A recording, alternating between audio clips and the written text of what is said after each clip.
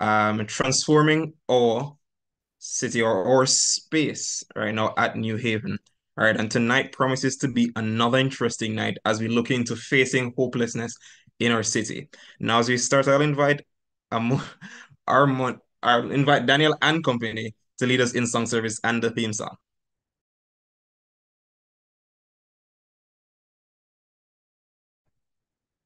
Okay, good night, everyone. Before we begin our song service, we will say a word of prayer. Let us pray. Our most righteous and heavenly Father, we thank you for this evening. We thank you, Lord, for another night in this week of prayer. We pray and ask God that tonight will be a night with a difference, that you will open our hearts to receive the word that you have for us. Be with those who are on their way to joining, Lord, and pray that we'll have a good turnout in Jesus' name. Amen. Amen. Our first song, our first hymn is hymn number 516, All the Way. All the way, my Savior leads me. What have I to ask beside? Can I doubt His tender mercy, who through life has been my guide? Heavenly peace, divinest comfort, here by faith in Him to dwell. For I know whatever befall, Jesus doeth all things well. For I know whatever befall, Jesus doeth all things the way my Savior leads me, shares his wide path I trust, gives me grace for every trial, feeds me with the living bread. Though my weary steps may falter, and my soul may be gushing from the rock before me, lo, I spring of joy I see. Gushing from the rock before me, lo, I spring of joy I see. All the way my Savior leads me, oh, the fullness of His love perfect rest to me is promised in my Father's house above. When I wake to life immortal, with my flag to play. This my song through endless ages. Jesus led me all the way. This my song through endless ages. Jesus led me all the way. Amen. Hymn number 523. My faith has found a resting place. Hymn number 523. My faith has found a resting place, not in a man creed. I trust the ever-living one, that he for me will plead. I need no other evidence I need no other plea. It is enough that Jesus died and rose again for me. Enough for me that Jesus saves. This ends my fear and doubt. As sinful soul, I come to Him. He will not cast me out. I need no other I need no other plea. It is enough that Jesus died and rose again for me. My soul is resting on the word, the living word of God. Salvation in my Savior's name, salvation through his blood. I need no other, I need no other plea. It is enough that Jesus died and rose again for me. My great physician heals the sick, the lost he came to save. For me his precious blood he shed, for me his life he gave. I need no other, I need no other plea. It is enough that Jesus died and rose again for me. Amen. And our last hymn will be hymn number 195, Showers of Blessing. Hymn number 195. There shall be showers of blessing. This is the promise of love. There shall be seasons refreshing, sent from the Savior above. Showers blessing, showers of blessing we need. Mercy drops round us are falling, but for the showers we plead. There shall be showers of blessing, precious reviving again. Over the hills and the valleys, sound of abundance of rain. Showers of blessing, showers of blessing we need. Mercy drops round us are falling, but for the showers we plead. There shall be showers of blessing, send them upon us, O Lord. Grant to us now a refreshing, come and honor thy word. Showers of blessing, showers of blessing we need. Mercy drops round us are falling, but for the showers we plead. There shall be showers of blessing, oh that today they might fall. Now as to God we're confessing, now as on Jesus we call. Showers of blessing, shower of blessing we need.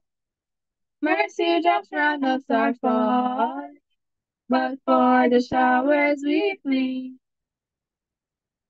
Amen. And now we will sing our theme song, The Power of Your Love. Lord, I come to you. Let my heart be changed. Renew, flowing from the grace that I found in you.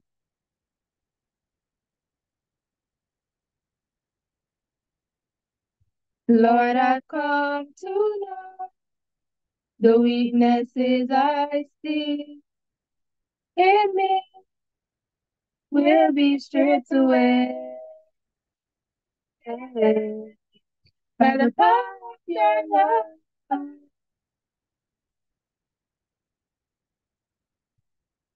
Oh, let your surround me, draw me to your side. And.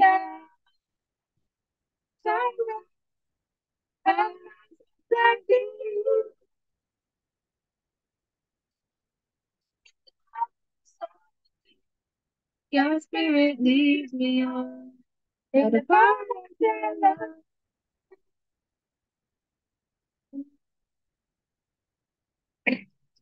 Lord, unveil my. Let me see you face to face the knowledge of love as you live in me.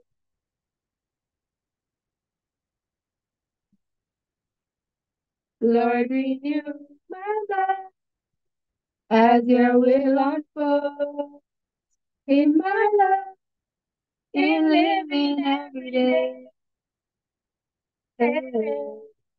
By the power of your love.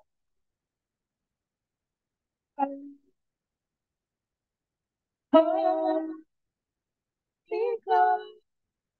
Let your love surround me. Bring me near. Draw me to your side. And now, silence, silence of my feet. I start with you. Your spirit leads me on by the power of your love.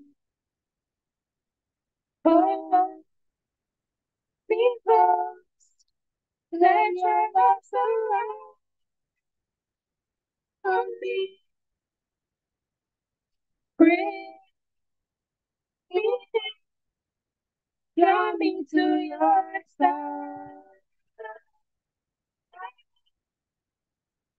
And now I wait, I wait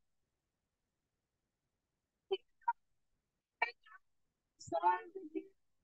Your spirit leads me on by the power of your love. Oh, and I will start again. Your spirit leads me on by the power of your love.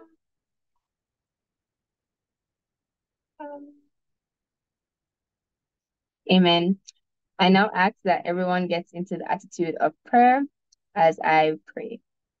Let us pray. O most righteous and heavenly Father, we thank you for this another youth week of prayer. We thank you, Lord, for the week thus far and how you have carried us through it. Lord, we come to you now, putting before you your people. Lord, you see and you know each and every one. You know every hair upon their head, dear Father.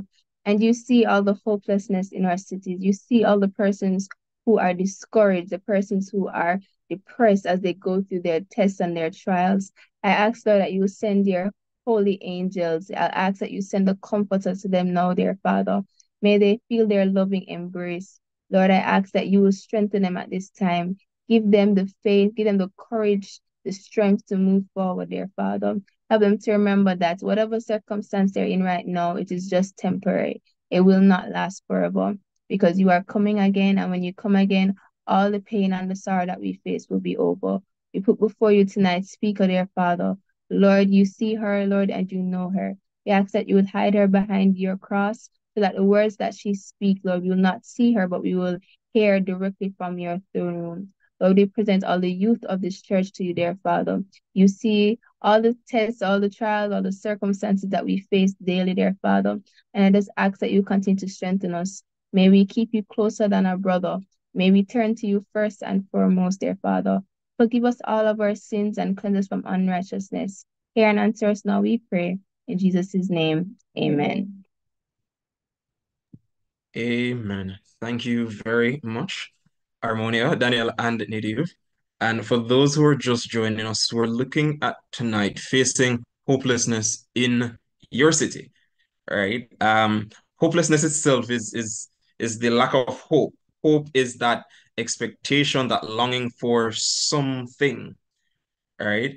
Um, and for many of us, we do have expectations and we do long for certain things to happen, whether it is within our immediate city, that is where we live, or within our church community, right? And for that child of God who is expecting different things, we could expect God to come very soon. We could expect good things to happen for us. And the the moment we don't see things happening immediately, or we still don't see things happening after weeks or months, even years, right? We fall into that area of hopelessness right?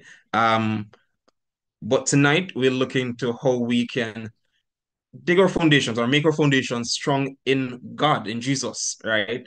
Unwavering, where we can still cling to Him and still be hopeful and still trust in His word that whatever He promises will come through. Right. And with that, we're going to go into our opening song. So I'll invite Harmonia again. Um, we'll be singing We Have This Hope. All right, and following our opening song, we'll have Jael Letford with our scripture reading.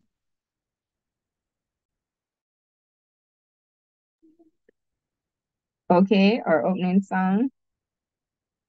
We have this hope. Okay.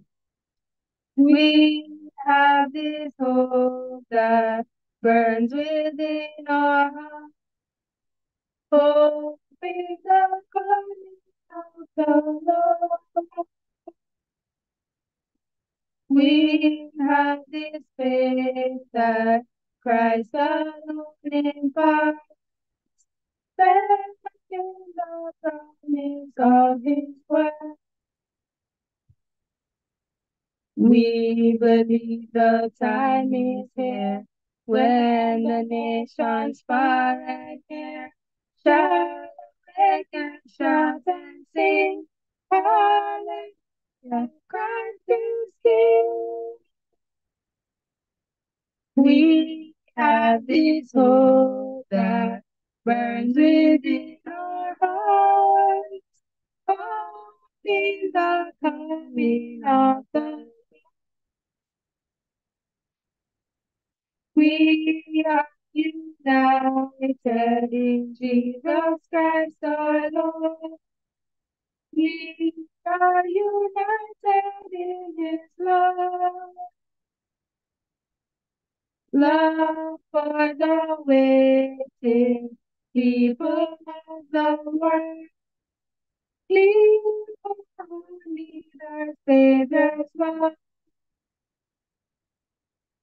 Soon the heavens will open wide. Christ will come to claim His bride.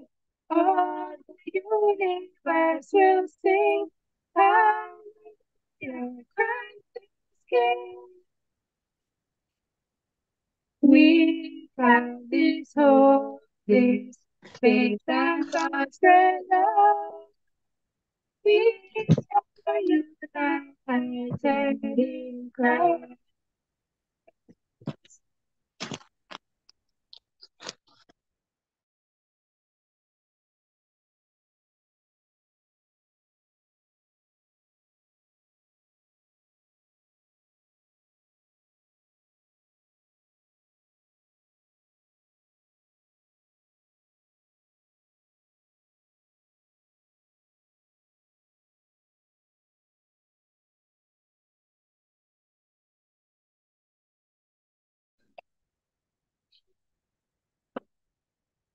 Good evening, everyone. Are you able to hear me? Yes, we are. All right. So the scripture reading is taken from Romans 5 1 through to 5. And it says, Therefore, having been justified by faith, we have peace with God through our Lord Jesus Christ, through whom also we have access by faith into this grace in which we stand and rejoice in hope of glory of the Lord. And not only that, but we also glory in tribulation, knowing that tribulation produces perseverance, and perseverance, character, and character, hope. No hope does not disappoint, because the love of God has been poured out in our hearts by the Holy Spirit who was given to us. Amen.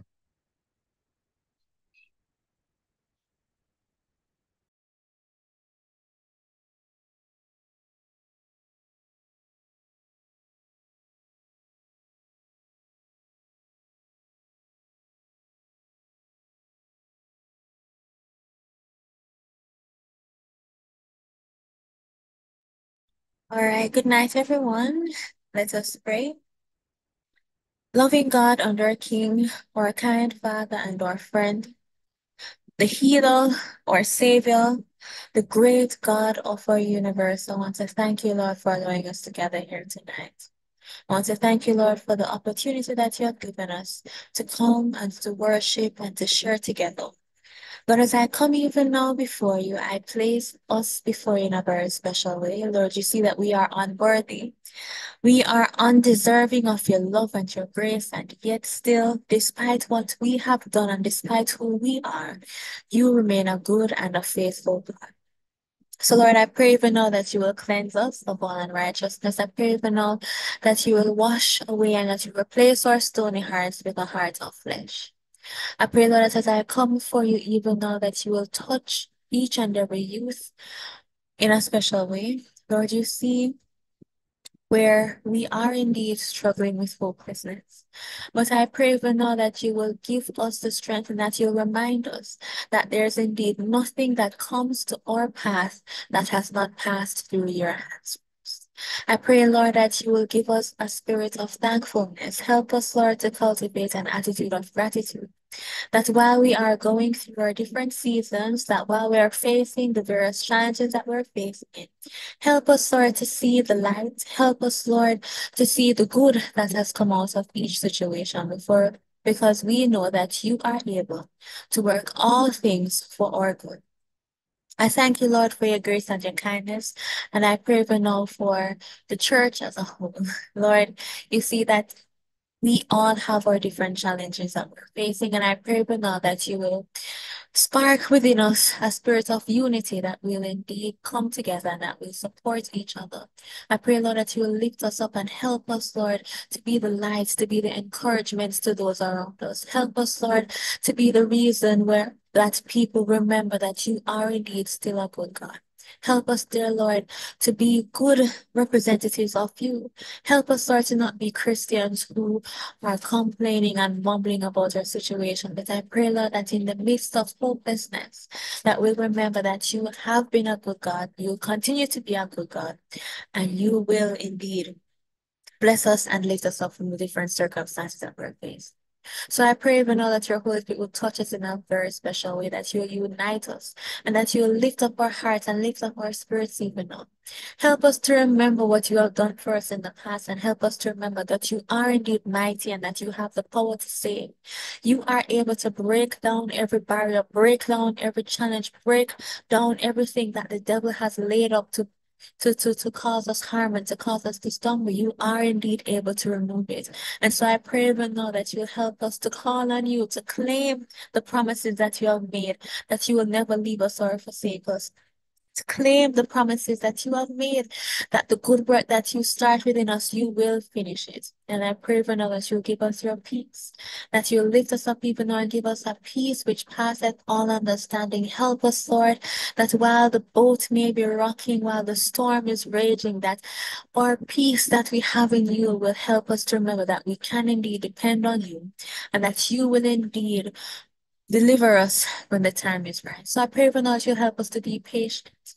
That as we learn these lessons that come from the different challenges, that we'll patiently wait for you to deliver us. And that we'll indeed glory in carrying your cross as we navigate these situations. I thank you, Lord, for your mercy and your grace. I pray that you'll continue to bless us, Lord, and watch over us. Thank you, Lord, for your comfort and your care. Thank you, Lord, for your Holy Spirit. And I want to thank you, Lord, for your words of hope and peace that you have left with us. That you'll be the rest of the program in a very special way. Help us, Lord, to leave here being transformed, being reminded that you are indeed a good God and that you are indeed a mighty God who's able to lift us up. So I pray even now that you'll empower us, that as we step into our communities and that we step into the city and as we speak on you and for your behalf, that we will remember that you are indeed with us and that you will not forsake us. Thank you, Lord, for everything that you have done for us. Continue to bless us, guide and direct us. Continue to provide for us and, and lead us even now. In your precious name I pray.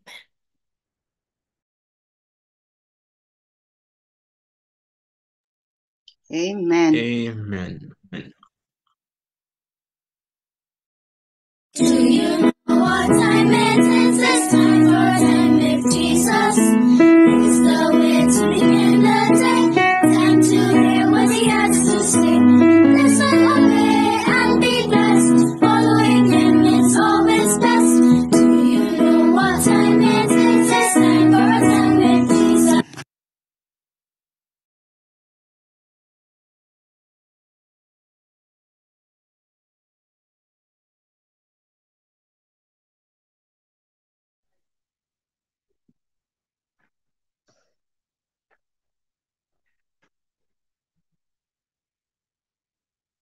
Good evening, boys and girls.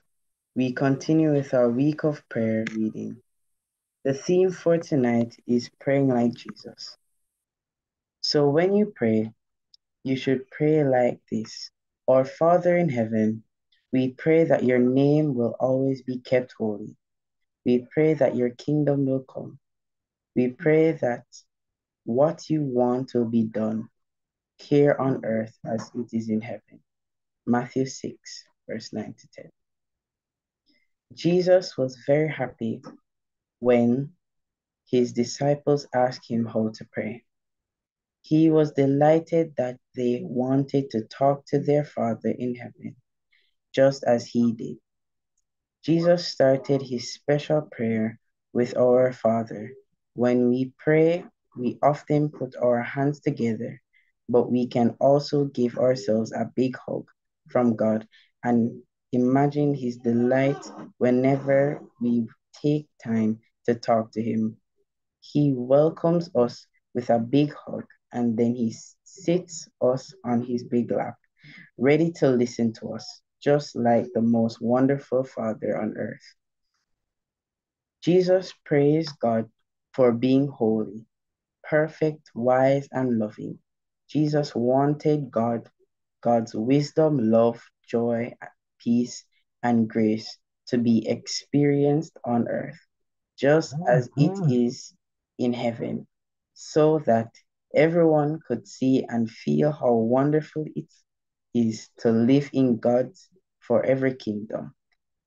Jesus prayed for enough food for one day. He didn't give God a long list of wants. Then Jesus prayed that we would forgive other people just as God forgives us, so that we can share his love with others. Finally, he asked God to help us make the, the good choices that lead us towards his wise, loving, and peaceful ways. His wise and and to rescue us when we make bad choices. Our loving Father, God knows that we are human and we will make mistakes, but He will always be there to help us because He loves us. What a beautiful prayer. Whenever you pray, remember Jesus' pattern, for talking to his Father and speak simply and openly to Him, remembering that He always loves you.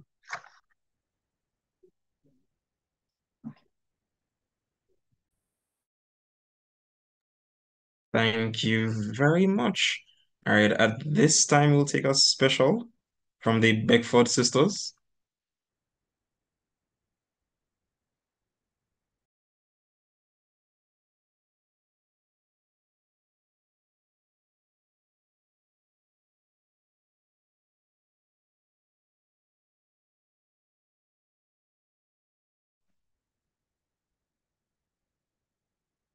There's not a friend like the lowly Jesus.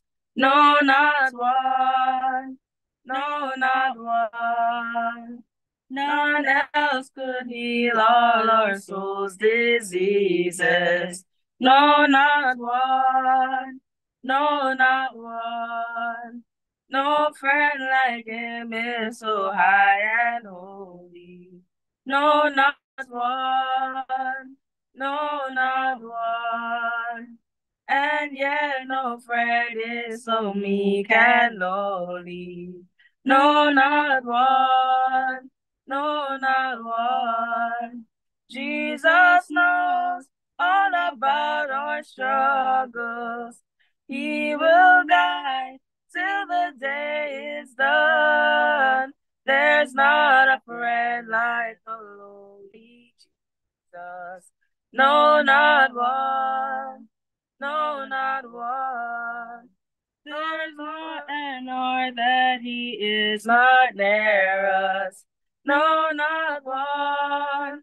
No, not one. No night so dark, but his love can cheer us.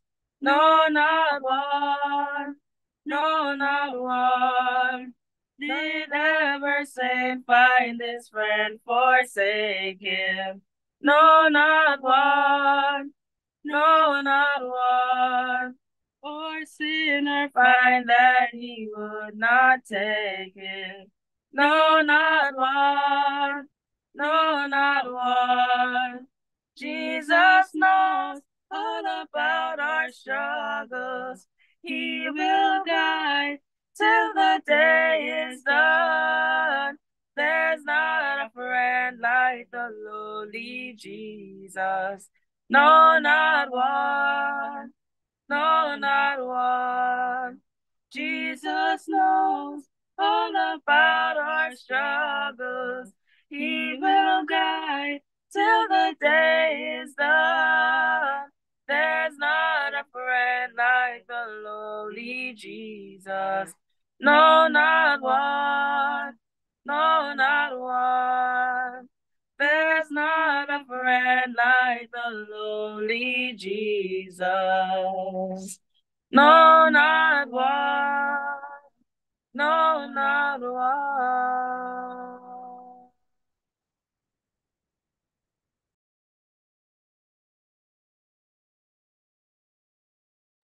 Thank you very much. Now, the speaker for us this evening is, well, no stranger to us. She has contributed to our church and, and our conference at large in different ways through GEMS, through our virtual book club, uh, through AY. And tonight is another means for her to allow God to utilize her. All right. She describes herself as a best a vessel to be filled by God. So as she comes tonight, I ask that you continue to pray for her as God uses her in a special way. The speaker for us tonight is Sister Unique Gordon. But before she comes, we'll have our song of meditation by the Beckfords.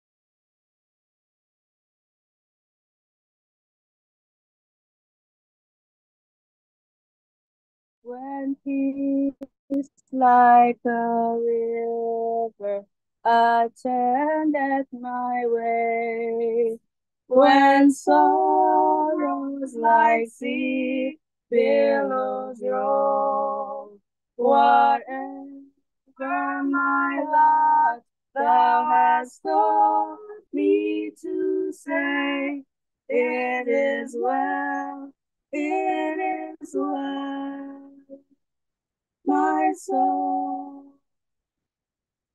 It is well, it is well with my soul, with my soul. It is well, it is well with my soul. My sin, oh, the joy of this glorious thought. My sin not in part, but the whole is nailed to the cross, and I pay no more. Praise the Lord, praise the Lord, my soul. And Lord is the day when my faith shall be sight. The clouds be rolled back as a scroll. The trump shall resound, and the Lord shall descend. Even so, it is well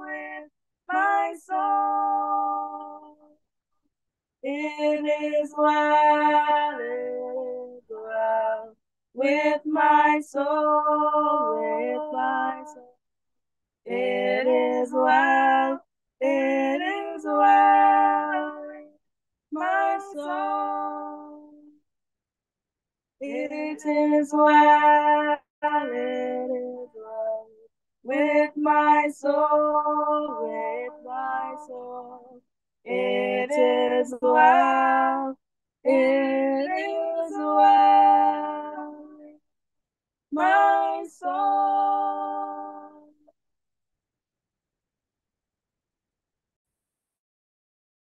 Amen. Amen. Good night, everyone. It is well with our soul. Isn't that beautiful that even in the midst of our bad times, we can say it is well with our souls? All right, so I'm going to be posting about five, I posted five texts in the chat. I'm going to ask persons to search for these texts, and when I ask for them, which is going to be a bit down in the sermon, I'm going to ask persons to just read those for me when I say them. All right, so I just want to thank Michael for his words of introduction. I was a bit worried because when Michael called me, I told him to surprise me. but I can rest assured that Michael allowed God to use him in his introduction. All right, so I, I want to thank the youth ministry's leadership as well as the board for allowing me to stand in the gap. Right, I want to thank my family for their support. And I finally, but most importantly, I thank God for continually using me in my unworthy state. Now, this week, in fact, the month of March into this Youth Week of Prayer, we have been looking at urban redemption, youth transforming their cities. And one of the ways that the youths did this was through our various community impacts on Global Youth Day, where we showed up in the cities. And I know that we have been tuning in to the week of prayer from Saturday, and that we would have been, our appetite would have been blessed with some soul stirring concepts related to this show up in the city. On Saturday, Brandon looked at Does God love our city? You know, a very important thing for us to really know during this period of unrest that we experience in our various communities all over Jamaica. And then on Sunday night, Daniel looked at transforming cities following the example of Jesus. And this was a good reminder of really where we should look to for this proper example of what is to be done in our cities. On Tuesday, no, sorry, I'm jumping ahead. On Monday, Bradford, all the way from Mandeville, looked at facing loneliness in our cities, and he reminded us that being alone is not the same as being lonely. And he gave us some tips on how to battle loneliness. Leslie would have looked at facing depression in our cities, and I know that this is something that is something that affects us on a daily basis, regardless of where we are in our life and regardless of how close we are to God. Depression tend to attack at times, and she just reminded us that it doesn't last and where we can look to for aid in these times. Last night, Brandon once again looked at facing illness in our cities. And I'm sure there were a lot of lessons that were learned from this topic because illness is something that we face regardless of our standing. And tonight we're going to be looking at facing hopelessness in our city. Now, I typed in ChatGPT, one of those popular AI search engine that you can chat with. I typed define hopelessness. And the AI replied that hopelessness is a state of mind characterized by a profound lack of optimism or expectation for positive outcome in the future. It often involves feelings of despair, resignation, and a brief and a belief, sorry, that one situation is unlikely to improve. In essence, it's the absence of hope or the feeling that there is no way out of a difficult or challenging situation. This state can be emotionally distressing and can lead to apathy, depression, and a sense of helplessness. That is what the AI said. Now, I know, I knew what depression meant, um, hopelessness meant on the surface. But after reading what the AI had to say, my eyes were opened now, for those who play chess, you would probably describe it as being given a checkmate. For medical persons, they would say a chronic illness. For my football fans, you would probably describe it as being an Arsenal supporter. it's like being chased to the and and for I mean, no disrespect to the Arsenal supporters. I am not as into football as the others. And so I did my research, and that was the team that I was presented with. So, yes. So, hopelessness is like being chased into a dead end. You are all out of moves. You have nowhere to go. You have no one to turn to. There's no plan B, C, or D to fall on. It is finished but how does this play out in our cities? Well, to get a better picture, we're going to look at some of my friends. But before we get into that, let us pray. Heavenly Father, I am your daughter, your vessel, Lord. Empty me of myself and fill me with you. Let me not be seen, Lord, but let your words go forth. In your name I pray. Amen. Now, when I think of this definition of hopelessness, Gomer comes to mind. And we, just in case you're wondering, if it's that same Gomer I'm talking about that broke Hosea's heart time and time again, yes, that is the fir- the person where I'm talking about. And, you know, at first glance, we would say that her story offers a powerful narrative of hopelessness. Just imagine Hosea, upon God's instruction, had picked Gomer while she was in a hopeless state. You can say that Gomer was rescued. She was ushered to hope. But for some reason, time and time again, Gomer chose to return to hopelessness. Let us just take a minute to really look at this. Gomer was a prostitute. She was taken from her pimp and she was brought to live in a loving and supportive home with a godly man.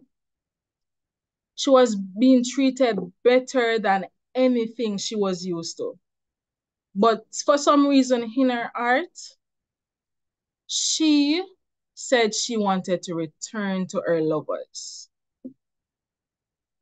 She was at home with a perfectly good lover, but she chose the streets. And so she, because of this desire in her heart, she strayed from her husband and engaged in promiscuity you think that seeing as though this was her deep desire, she is now in a happy place. But the Bible said that she was in a worse state than she was before. Brethren, sometimes we are co-orchestrators in our own demise. we knowingly choose paths that lead us into dark places. Why? Because we want to try this, we want to do that, we want to go here and there, we want to be a part of the latest trends, and we bring ourselves into some very hopeless places. I just wanted to think, are you the reason for some very hopeless situations you have experienced in your life? Just think about it for a second. How did your behavior contribute to these things? What did you do that brought you to this very place? Was it a ignoring of God's voice when he said, take up the Bible instead of listening to that song? Was it stay home, but you still decided you needed to go out? What is it that you have done that brings hopelessness onto yourself? And while we think about it, we're going to take a minute and we're going to pray. And what we're praying for is for God to keep us from making decisions that lead us into hopelessness. So we're praying once again for God to keep us from making decisions that lead us into hopelessness. Let us pray.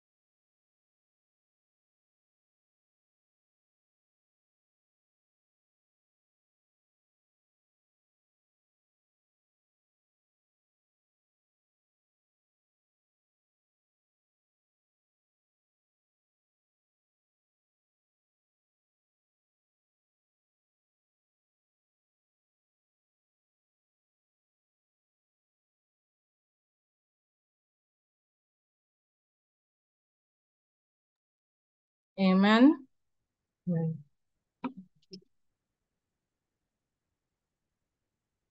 No, there are other times that we have done nothing, but because it is one of the weapons used to keep us from grace, from grace, we at times feel hopeless.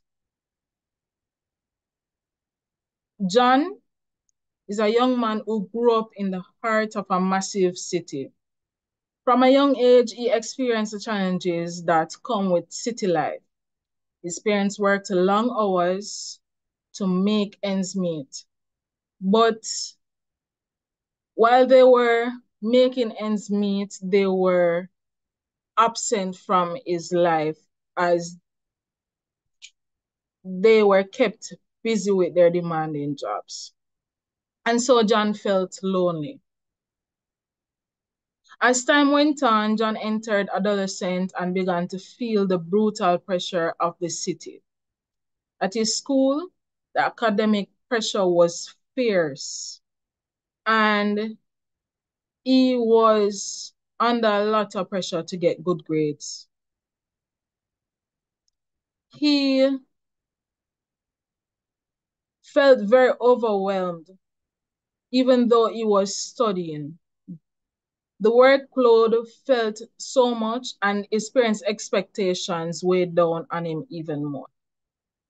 He wondered if there was truly a future for him in that city.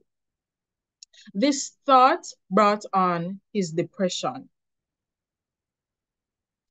Now, this was compounded by his community not being the place of choice to live, raise families, and do business. Lawlessness was its normal state, and John had to walk through the, a dark and partially destroyed section when returning from school. He didn't feel safe and he didn't feel connected to his neighborhood. This made him even more lonely and discouraged. All John could see now was hopelessness. As John grew older, he realized that his friends and schoolmates were also facing similar challenges. Many struggled with the stress of school, economic hardships, and the lack of, a, of clear plans in the city. They questioned whether they would even break free from the cycle of stress and experience a brighter side to life. Friends, the lack of hope in our cities affect people all around the world. It essentially feels like there are no opportunities or chance of things to get better. And it can be related to several causes. It can be economic inequality and poverty. It can be unemployment or even underemployment.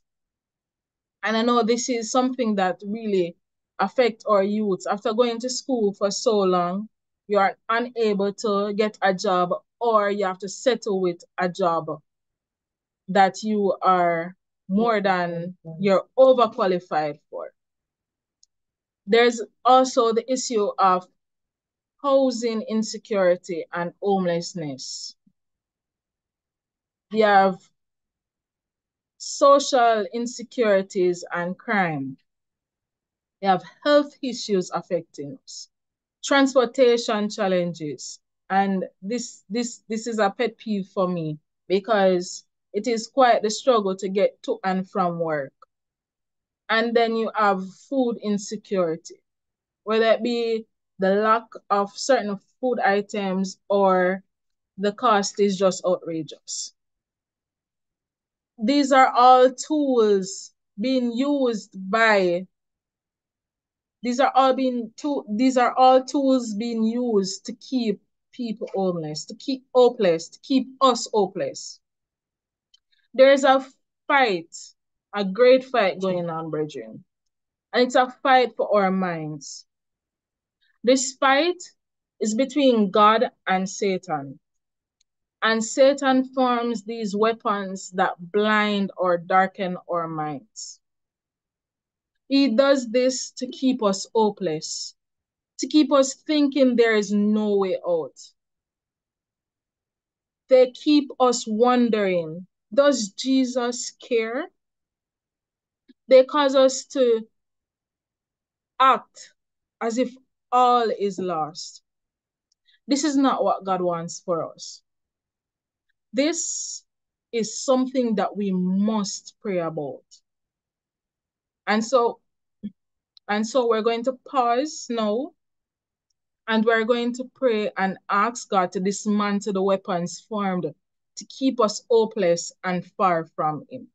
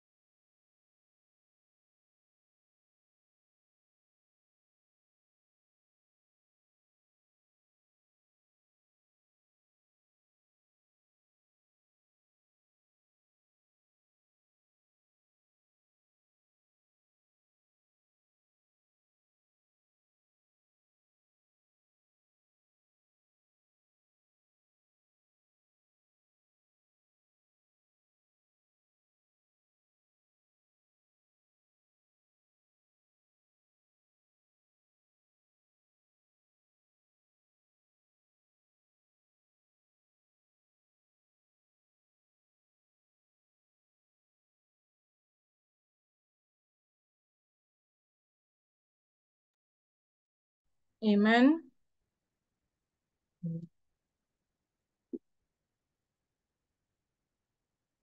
Our question.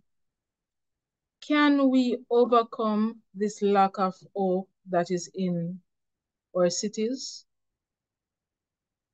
As servants of God, how do we combat hopelessness for ourselves and for the Johns and the Gomers in our cities? Where can we find hope? You know, the word hope appears over 130 times in the Bible, and it is a recurring theme, highlighting its significance in faith and our relationship with God. All right, so now we're going to look at those verses that I posted before, and I'm going to ask the person that found Romans 15, verse 13, to just open your mic and go ahead and read it.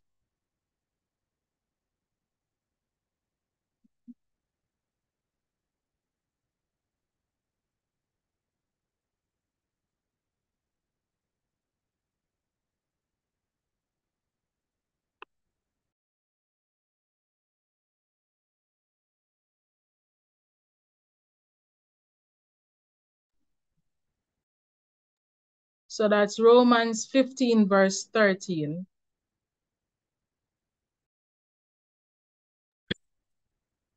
Now the God of hope fill you with all joy and peace in believing, that ye may abound in hope through the power of the Holy Ghost.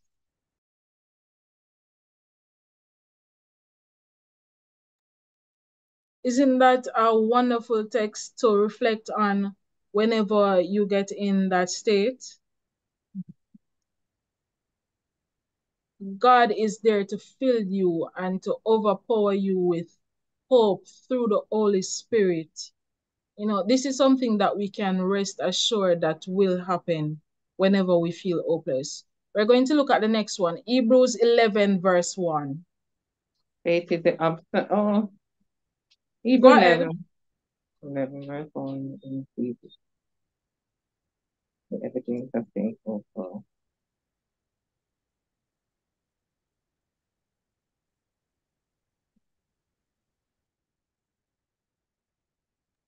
Now faith is the substance of things hoped for, the evidence of things not seen. You know, I thought everybody would have opened their mic to read this one because this is one that we know from memory. You know, this this is one that we readily rock on when we're looking for something and we're not sure where it will come from. When we're looking for that school fee, we're not sure where it will come from. We're looking for the meal to come. We're not sure. This is the one that we usually quote to combat Satan when he comes with his negativity, right? And and this is a very good one to remember in times of hopelessness. All right, we're going to look at the next one, Psalms 42, verse 11.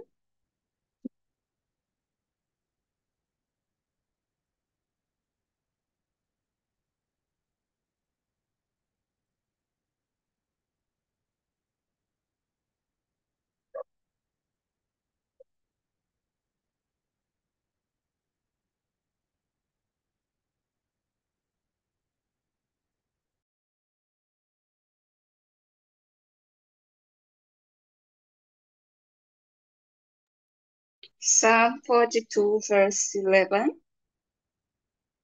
Why art thou cast down, O my soul? And why art thou disquieted within me? Hope thou in God, for I shall yet praise him, who is the health of my countenance and my God. Amen. When I read this one, I what I remembered was a little thing that I tell myself to keep reminding me that even in the bad times, God is still there and He is good. And that is in all things give thanks. You know, this one is saying that you're you're out, you feel out and down, but there's much to give thanks for. There's much to hope for.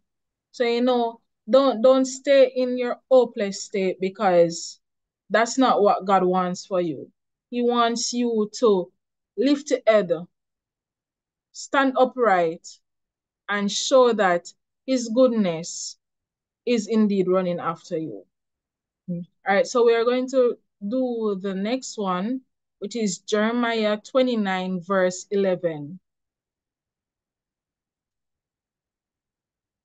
So here we read, For I know the thoughts that I think toward you, said the Lord, thoughts of peace and not of evil, to give you an expected end.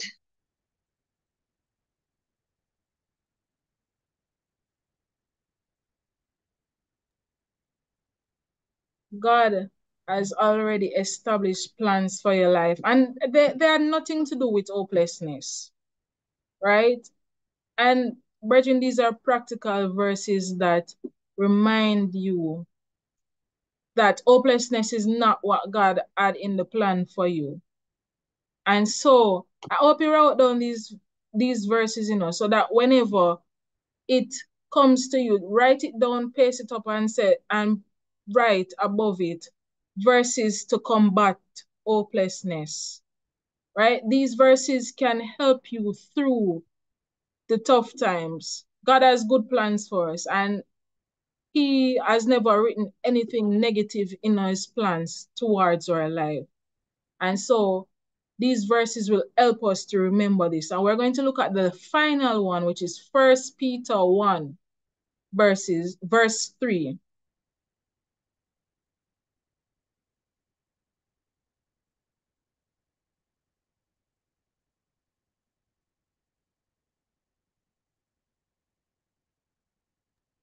Okay, in the interest of time, I go.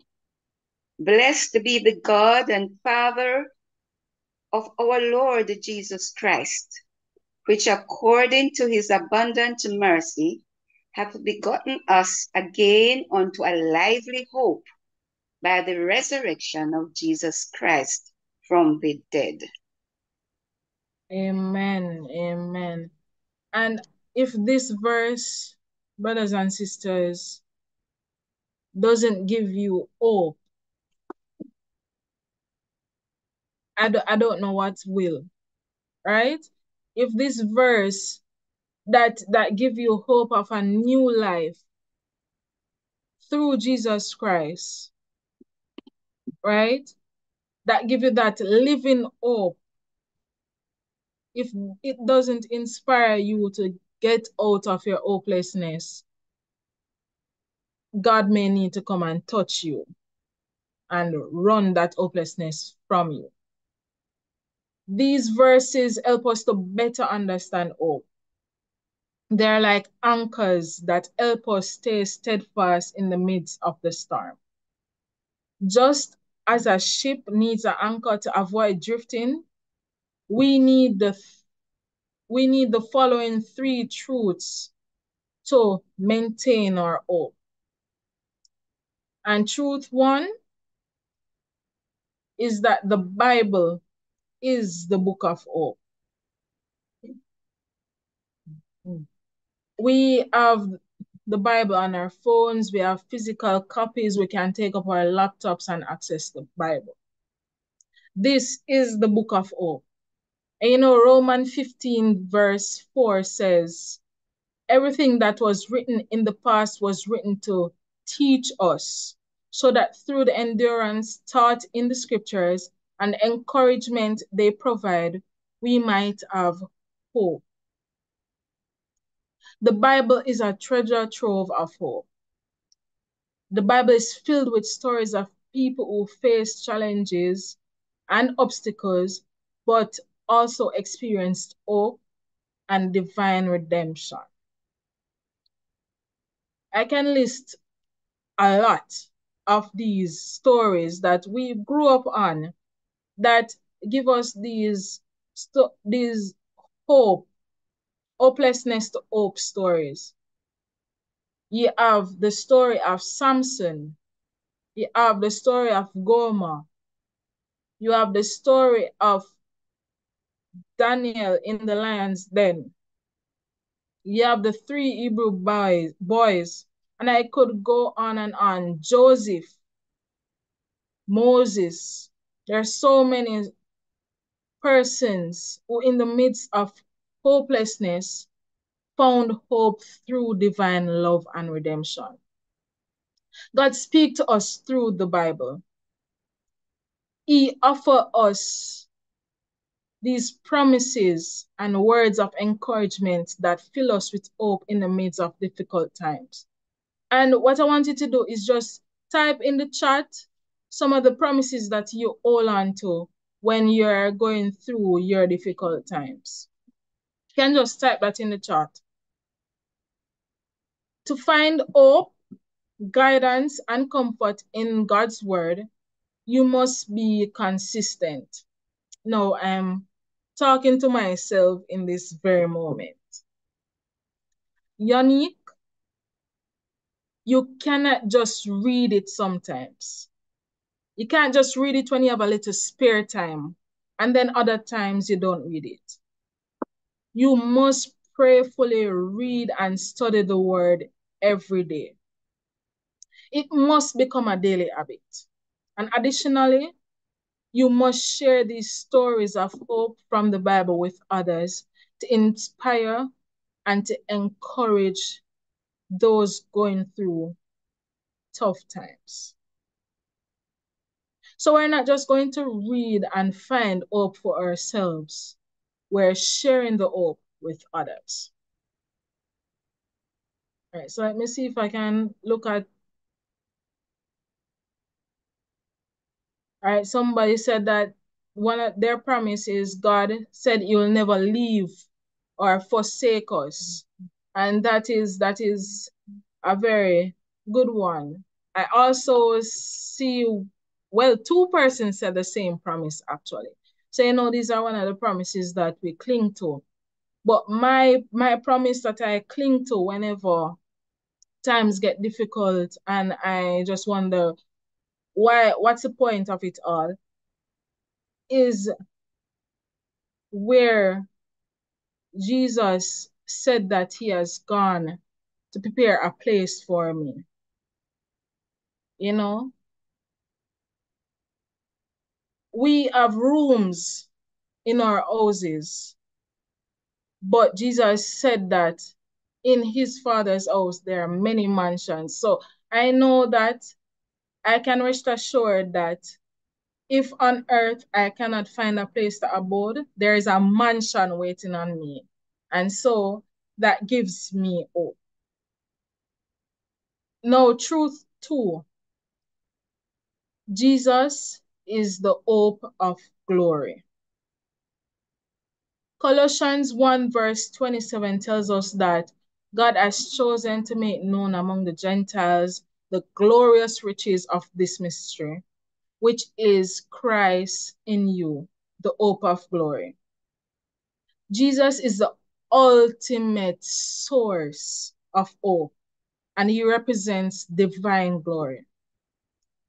He is life, death, and resurrection offer. Sorry, his life, death, and resurrection offer us hope of reconciliation with God and the promise of eternal life. Faith in Jesus transforms our lives and fills us with the hope of attaining eternal glory with Him. To maintain hope, it's crucial to develop a personal relationship with Jesus. And this can be done through prayer and reflection, experiencing His hope and transformation in our lives. So it's it's not just about reading and hearing about these persons who experience their hope. We have to build that connection with Christ so that we ourselves can experience this hope and can know firsthand that he is really true hope. And that he is the hope of glory. And now our third truth. The second coming of Christ is our blessed hope.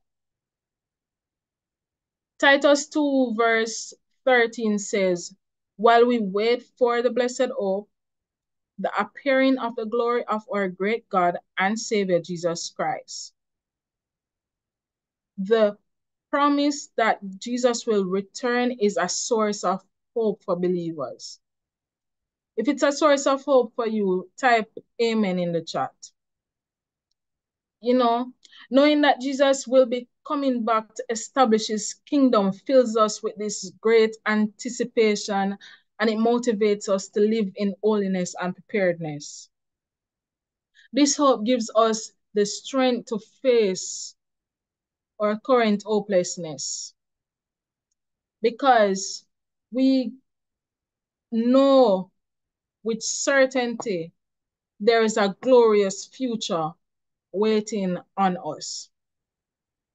In challenging times, always remember the promise of the second coming of Christ to find comfort and strength. Brothers and sisters, the Bible offers us an infinite source of Jesus himself is the embodiment of the hope of glory.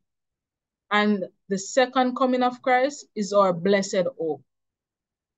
By embracing these, these truths and applying them in our daily lives, we can experience hope that transcends our circumstances and guides us towards an eternal future with God. Now, we're going to go into our final prayer session with this. And what we're going to pray about is that when things start to seem hopeless, we will remember these three truths and that they will guide us through the dark times that come upon us.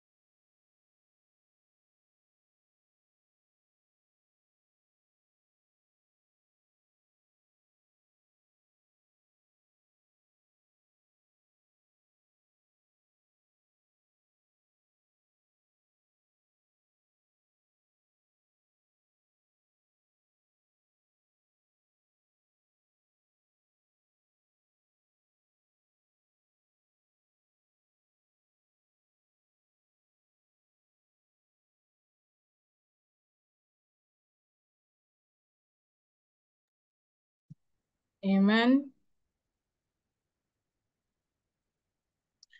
You know, brothers and sisters, I wish I could have spoken to Gomer across the ages. But since I cannot, I will speak to you who seem just as hopeless at times. I wouldn't call you hopeless. Lost, maybe. Entangled for sure.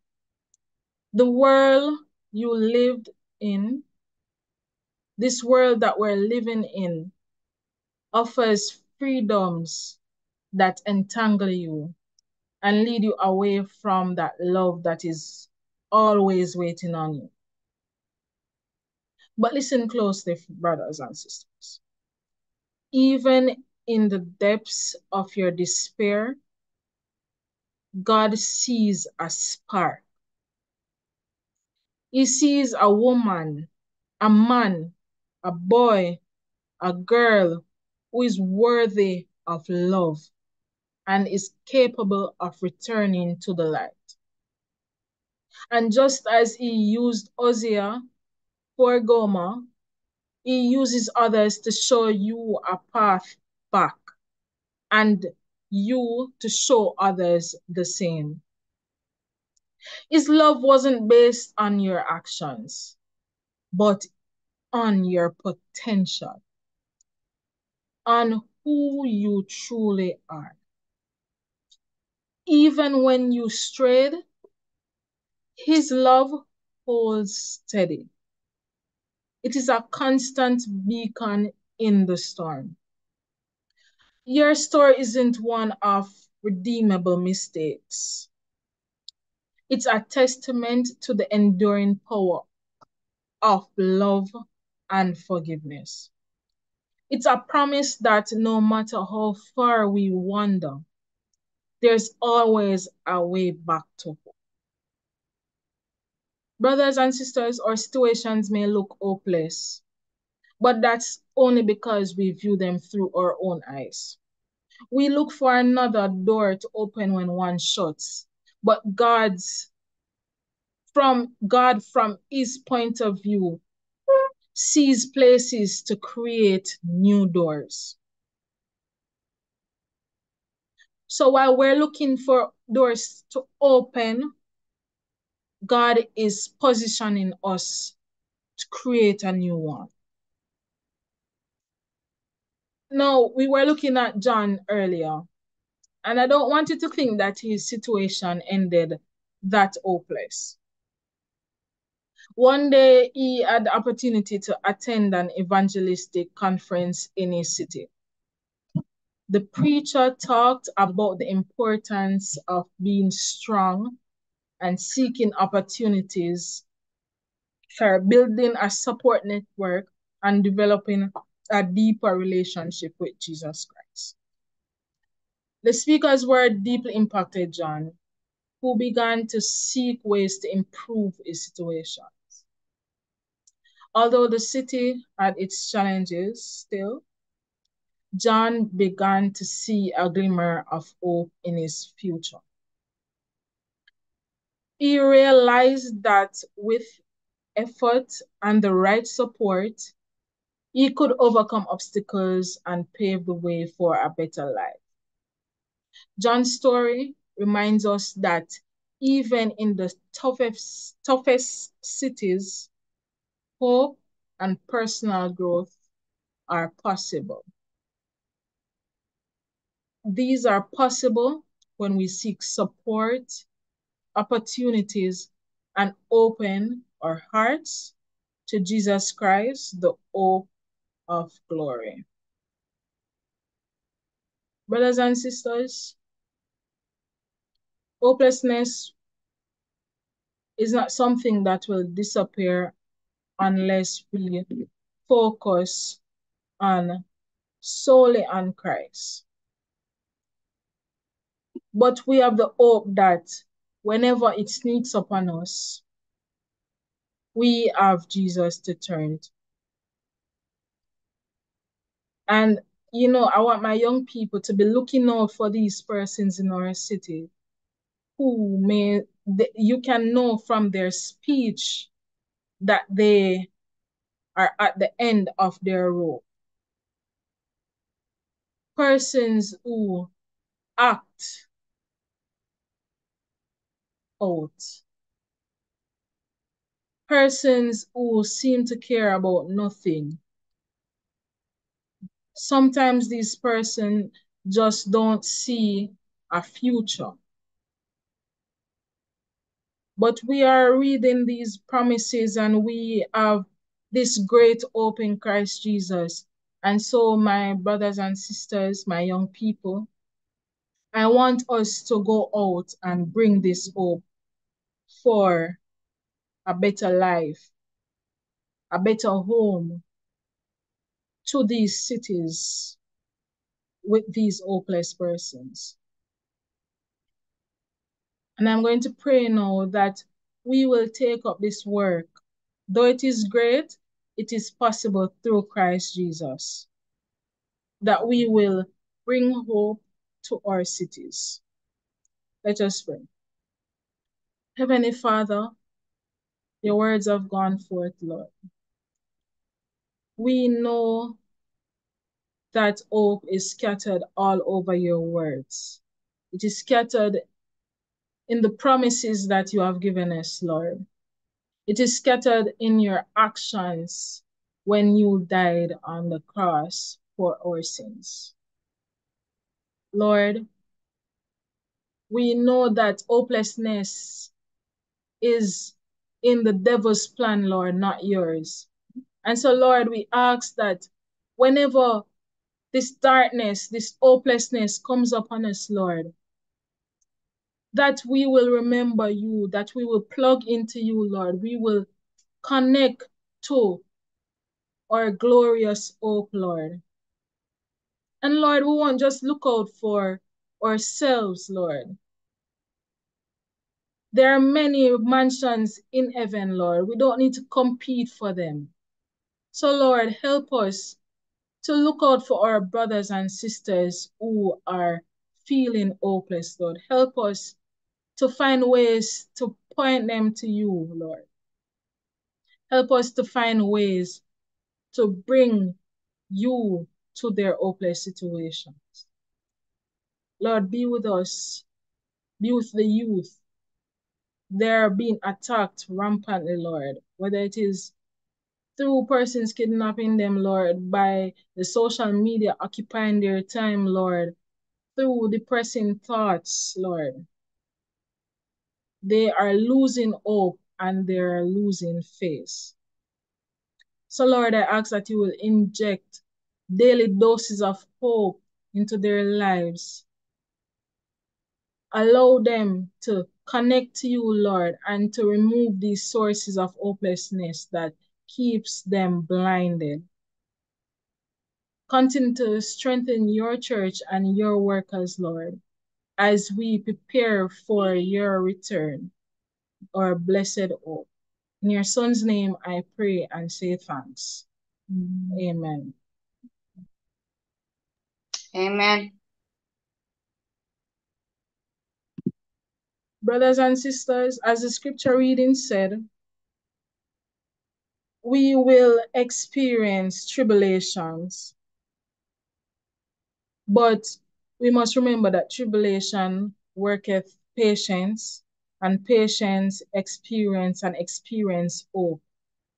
And hope does not will not make us ashamed, but it will bring us closer to that day when Christ will return. It will shed God's love in our hearts. And so let us continue to hope through our trials and tribulations and take back souls from the enemy's camp. Mm-hmm.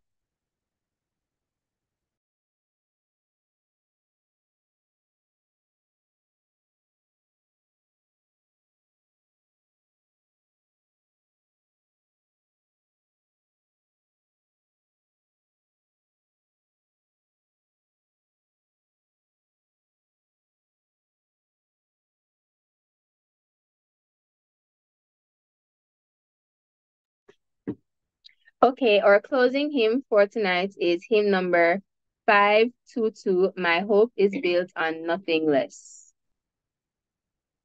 My hope is built on nothing less than Jesus' blood and righteousness. I dare not trust the sweetest friend, but wholly lean on Jesus' name. On Christ the solid rock I stand, all other ground is sinking sand. All of the ground is sinking sand. When darkness seems to veil his face, I rest on his unchanging grace. In every high answer we gale, my anchor within the veil. On Christ the solid rock I stand. All other ground is sinking sand. All other ground is sinking sand. His oath is covenant and blood supports me in the whelming flood.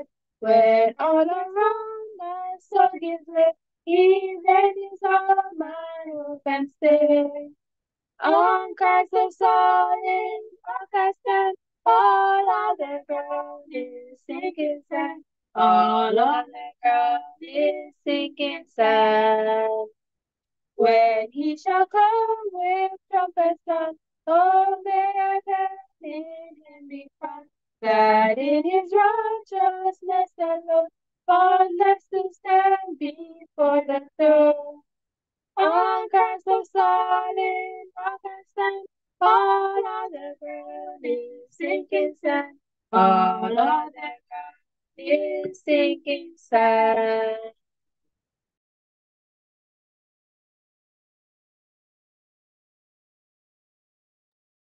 Amen. Such a timely message, such timely songs. Um, amen. And then during the sermon, I was also I was also speaking to myself. So, so Michael, you also need to be consistent. All right. Um, thank you very much for that message, Sister Gordon. All right, and I, I'm tempted to say that um, I wouldn't call Arsenal fans hopeless, really. I would say they're very hopeful.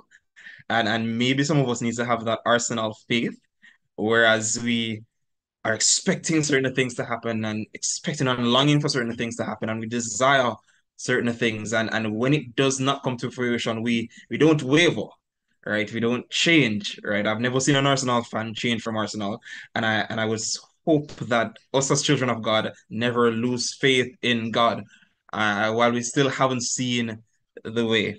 All right. So thank you again. Um, thank you to everyone who has joined us to join us tonight.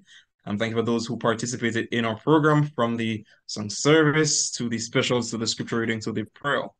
All right. Join us again tomorrow evening. Yes, when we have another dynamic sermon by Sister Natalie McKenzie. All right. And again, we'll close off this week, Saturday and Sunday, um, with other dynamic speakers and on other dynamic sermons. So as we go this evening, all right, as we are facing hopelessness in our cities, uh, we should cling to God even more, build and root our foundations in God, and have more hope and faith in Him in everything we do. Let us pray. Most righteous and heavenly Father, we thank you for being with our program this evening. Mighty God, I ask that you wipe away all anxiety, all hopeless feelings of hopelessness from us. Help us to stay rooted and anchored in you. That while we may not see the way as yet, why while we have that deep longing, our deep expectations for things we've hoped for, things we've prayed for, and we still haven't seen it. Uh, we acknowledge that things are done according to your will and your timing. However, Almighty God, I ask that you calm our spirits and ease our minds, uh, that we stay true to the promise that you have given to us. Thank you for all you're about to do in our lives. Bless us and protect us. In Jesus' name I pray. Amen. Good night. Amen, Michael. Amen. Amen and good night.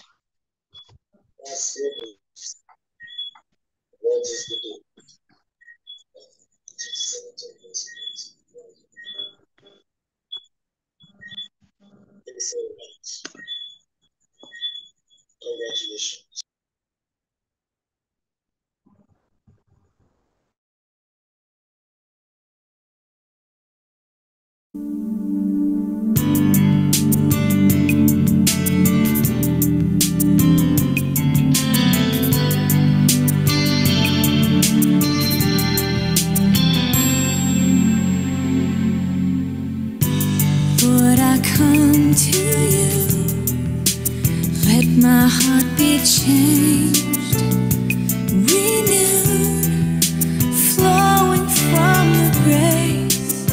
that